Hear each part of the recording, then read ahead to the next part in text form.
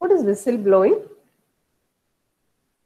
See, if I find out that somebody working with me is doing something very bad, which is going to very badly affect the people around me. See, this is what actually happened in Bhopal gas tragedy. Many engineers knew that repair work is not being properly done.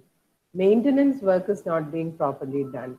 The valves that give out signals of danger are not being properly cleaned and maintained. So such things, nobody spoke out to the correct authorities.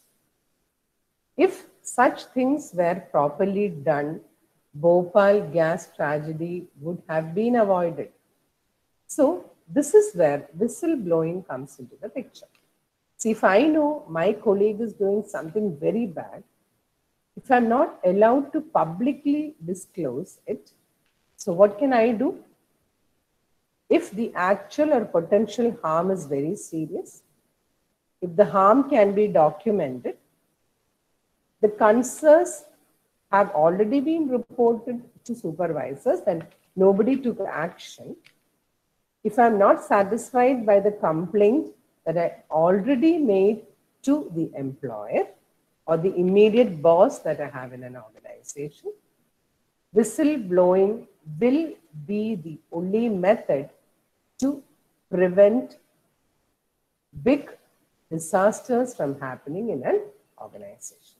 That is, we can very openly go and tell the higher authorities without the people around me knowing that I am the person who disclosed this issue to the higher authorities. Okay.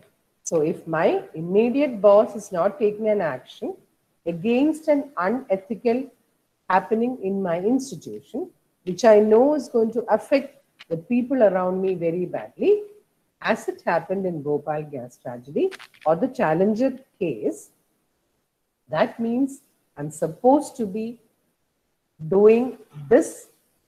I have to understand as an engineer, as an employee, it is my right to go and tell higher authorities that this is what is happening around